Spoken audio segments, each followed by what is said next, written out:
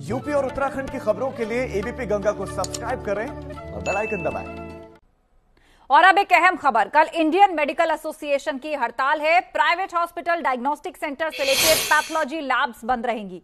प्रदेश के निजी हॉस्पिटल में ओपीडी नहीं खुलेगी। इमरजेंसी और कोविड को छोड़कर सभी सेवाएँ अस्पतालों में ठप रहेंगी। सरकारी अस्पतालों पर भी इसका असर पड़ेगा और सुबह छह बजे से यह हड़ताल शुरू हो जाएगी। यूपी में 24 घंटे की हड़ताल की तैयारी है। दरअसल आयुर्वेदिक डॉक्टरों को सर्जरी अधिकार देने का यह पूरा मामला है, जो उन्हें नहीं दिया गया और केंद्र सरकार से अधिकार देने से आईएमए ने नाराज़गी जताई है।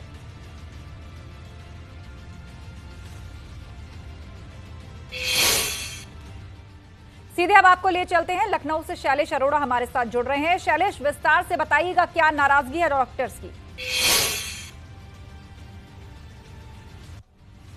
आशा देखिए केंद्र सरकार ने अभी हाल ही में जो आयुर्वेद के डॉक्टर्स हैं, उनको भी सर्जरी का अधिकार देने से संबंधित व्यवस्था लागू की है, जिसके विरोध में अब इंडियन मेडिकल एसोसिएशन आ गया है। उनका जो लगातार विरोध चल रहा था आयुर्वेद के डॉक्टर्स को सर्जरी का अधिकार देने का, उसी के तहत अभी हाल ही में इन लोगों ने एक दिन, दो घंटे का सांकेतिक विरोध अपना दर्ज कराया था और उसके बाद 11 तारीख को हड़ताल की चेतावनी दी थी। और इसी क्रम में अब कल जो है आईएमए के बैनर तले जो डॉक्टर्स हैं, वो हड़ताल पर रहेंगे। सुबह छह बजे से इनकी हड़ताल शुरू होगी। वैसे तो इंडियन मेडिकल एसोसिएशन ने 12 घंटे की हड़ताल प्रस्तावित की थी, सुबह छह से शाम छह बजे तक। लेकिन अगर बात उत्तर प्रदेश की करें तो उत्तर प्रदेश में जो आईएमए है, वो करीब 24 घंटे की हड़ताल की तैयारी में है। निश्चित रूप से ऐसे में जो चिकित्सा सेवाएँ हैं वो प्रभावित होगी मरीजों को। इसकी वजह से समस्या आना लग तय मानकर चलिए।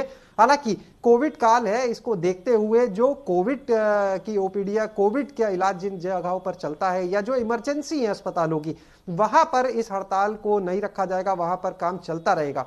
लेकिन बाकी जितनी भी ओपीडी है या जो। इलेक्टिव सर्जरी है या जिनको हम्म। आगे टाला मतलब कोविड और इमरजेंसी सेवाओं को छोड़कर प्राइवेट हॉस्पिटल्स की ओपीडीज बंद रहेंगी, बाकी सेवाएँ बंद रहेंगी। शुक्रिया शैलेश, अपडेट के लिए।